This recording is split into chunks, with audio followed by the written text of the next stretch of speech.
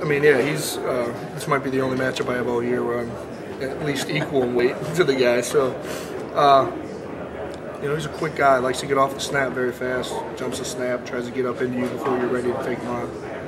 Um, he also can do a lot of maneuvers, moving around. So, really, it's just staying disciplined, and I think I match up well with my athleticism uh, to him.